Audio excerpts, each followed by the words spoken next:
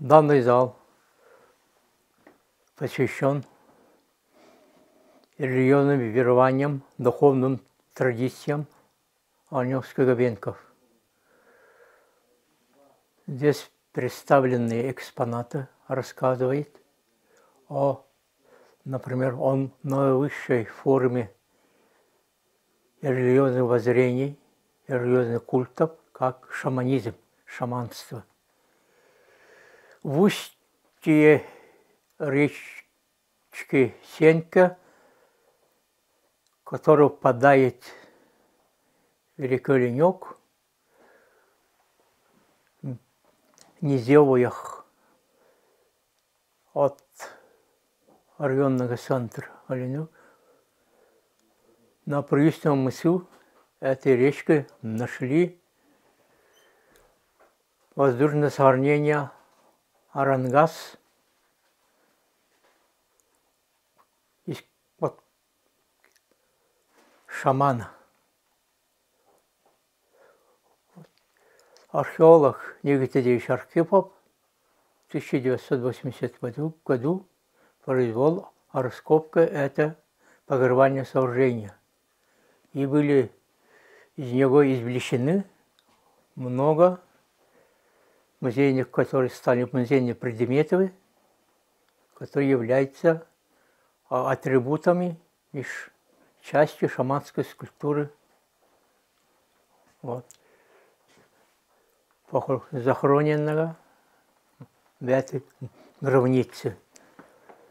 Вот перед вами реконструкции гробницы шамана Нарикосенко из, из шести опорных столбов и с двускатной крышей, как будто напоминающая и эта гробница летящую птицу. Извлеченные из гробницы вот образцы шаманской скульптуры, которые вот представлены на ваше обозрение. Вот тоже реконструкция одежды шаман, шамана перед вами. Это эта одежда, костюм шамана была отдельно найдена в другом захоронении.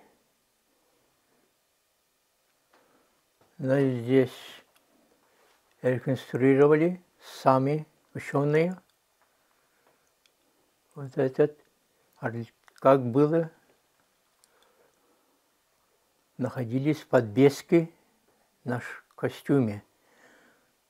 Он тоже как будто на эти подвески, подвески напоминает вот скелет или птицы. Вот на подоле здесь закреплены кости ребер. С одной стороны 5 ребер, а с другой стороны 4. И в сумме дает 9. Это сакральное число для вот, всех верующих. И на рукаве вот здесь закреплены как будут кости лодевидной подвески и называют кости предплечья.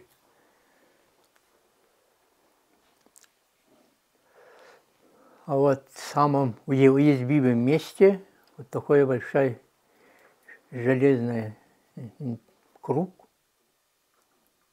Это называется Кагангатимир, который защищает самое уязвимое место шамана, прорив вот спины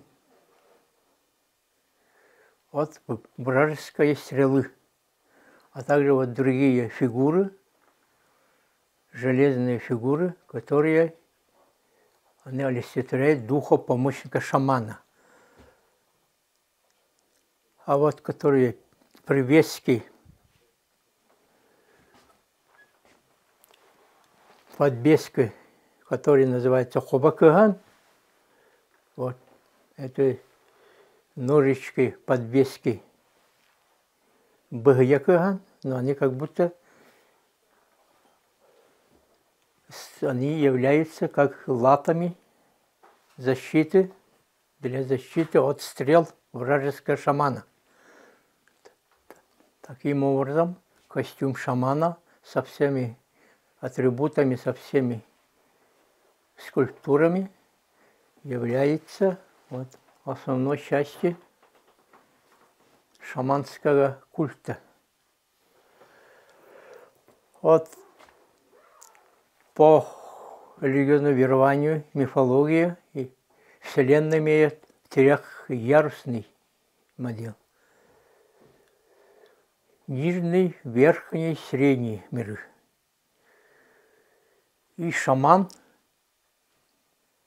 превращает петицию, поднимается верхний мир. Или превращается в гагару или большую рыбу, ныряет через прорубь, вот это символизирует прорубь, нижний мир. Вот.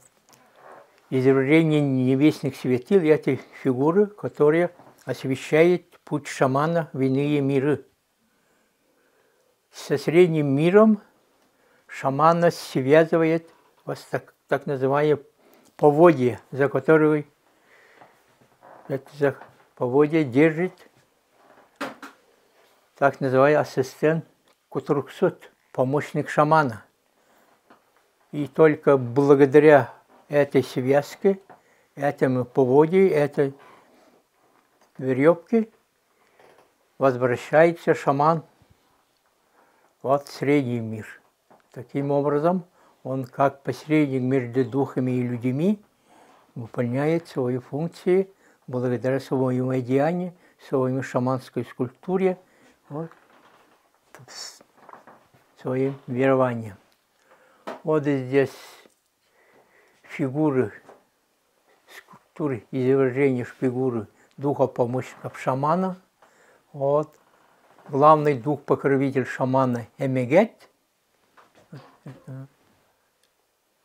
Вот, как я сказал, это владевидение подвиски, символизирующие, символизирующие кости предплечья, харитопаталумактора, железные ногти, шарканец, подбески, как защитные латы шамана.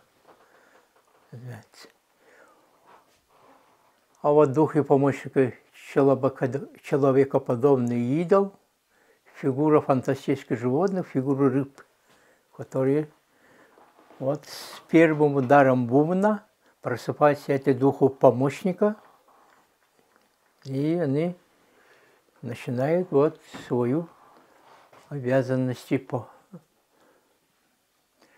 вот фигуры летящих птиц, тоже вот различных фигур летящих птиц, лебеда, Гагары. Вот такая богатая шаманская скульптура представлена на нашей экспозиции.